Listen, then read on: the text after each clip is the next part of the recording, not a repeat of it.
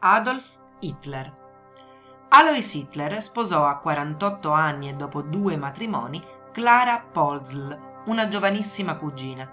Da questa coppia il 20 aprile 1889, nel piccolo villaggio di Braunau, sul confine austro-bavarese, nacque Adolf Hitler.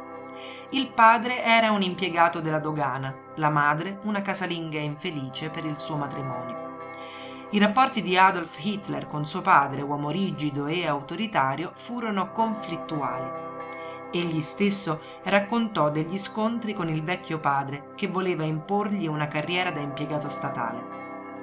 Forse da questo rifiuto derivarono i suoi disastrosi risultati scolastici e l'abbandono precoce degli studi. A scuola il suo comportamento era irrequieto, talvolta aggressivo dai giudizi di alcuni insegnanti risulta che era attaccabrighe e testardo, presuntuoso e di cattivo carattere, incapace di sottomettersi alla disciplina scolastica. Fu invece precoce il suo interesse per la politica e per il nazionalismo pantedesco. Amava le antiche leggende germaniche, i miti pagani, i personaggi gloriosi della storia tedesca, ascoltava la musica di Wagner. Odiava il plurinazionale impero austro-ungarico e tutte le razze non germaniche. Abbracciò le teorie antisemite e le arricchì di espressioni tratte sia dalla biologia razziale che dalla parassitologia. Gli ebrei, oltre che stranieri e materialisti, erano per lui la tubercolosi dei popoli. A 16 anni, insomma, Hitler era già l'uomo che l'Europa conobbe, un fanatico nazionalista germanico.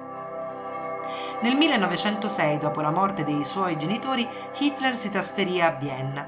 Iniziarono gli anni più duri della sua vita. Era in miseria, solo, vagabondava per la città vivendo di espedienti.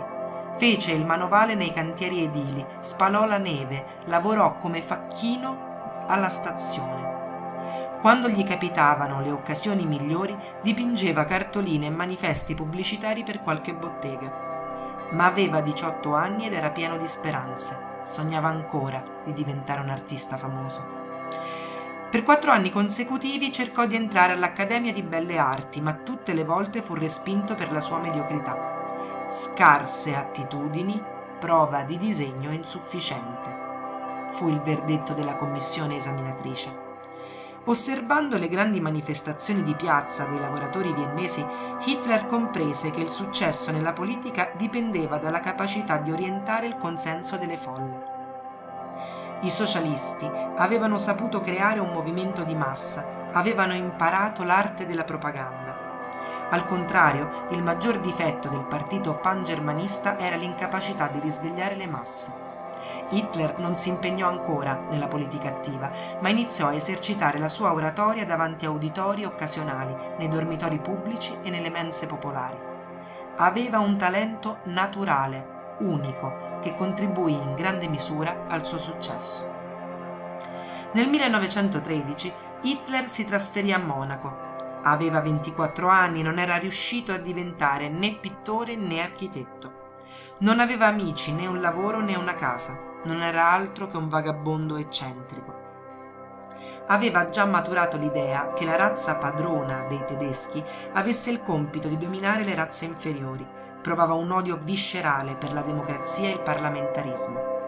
Era animato da un'irriducibile fiducia in se stesso e dalla profonda convinzione di avere una missione da compiere. Quando nel 1914 scoppiò la guerra si offrì volontario si arruolò nell'esercito tedesco perché odiava servire quello austriaco a fianco di ebrei, slavi e altre minoranze etniche. La guerra fu per lui la grande occasione, finalmente poteva lottare per la sua amata patria d'adozione, soprattutto poteva superare gli insuccessi e le frustrazioni degli anni precedenti. Adolf Hitler fu un soldato coraggioso, Fu ferito due volte e decorato al valore con la Croce di Ferro, la più alta onorificenza militare, che egli portò con orgoglio fino alla fine della sua vita. Era tuttavia un soldato strano. A differenza degli altri commilitoni, non riceveva mai lettere né pacchi da casa, non chiedeva mai licenze, non dimostrava alcun interesse per le ragazze, non brontolava mai per la sporcizia, i pidocchi, il fango, il tanfo delle trincee. Alcuni compagni lo descrivono in preda a vere crisi di nervi. Lo si vedeva dapprima immerso nei suoi pensieri con le mani sulla testa e all'improvviso scattare inveendo contro i nemici interni del popolo tedesco, gli ebrei e i marxisti. Si può comprendere come Hitler interpretò la sconfitta tedesca e la fuga del Kaiser, pianse disperatamente e la definì la più grande ignominia del secolo. Da quell'esperienza Hitler prese coscienza del proprio destino e decise di consacrarsi alla politica. Finita la guerra, Hitler trovò impiego nella sezione stampa e propaganda delle forze armate e fu assegnato all'istruzione delle truppe. Fu un incarico importante perché in questa circostanza Hitler comprese che poteva sfruttare il suo talento oratorio. Nel settembre del 19 venne a contatto con il Partito dei Lavoratori Tedeschi, una piccola formazione politica nata da poco. Lesse gli scritti del suo fondatore e vi riconobbe molte delle proprie idee. Partecipò alle riunioni di quel gruppo di poveri diavoli nel retrobottega di una birreria e in poco tempo raggiunse una posizione di primo piano. Un anno dopo prese le redini del partito e lo ribattezzò Partito Nazionalsocialista Tedesco dei Lavoratori. Hitler inventò la bandiera con il simbolo della svastica.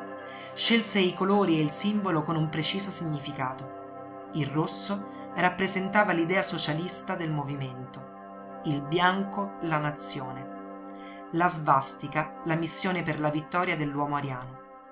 Disegnò gli stendardi con la svastica e la corona d'argento sormontata da un'aquila da portare alla Dunate. Anche la bandiera quadrata con il motto Ridesta di Germania fu opera sua. Non era certo arte, ma dal punto di vista della propaganda tutto questo si rivelò molto efficace.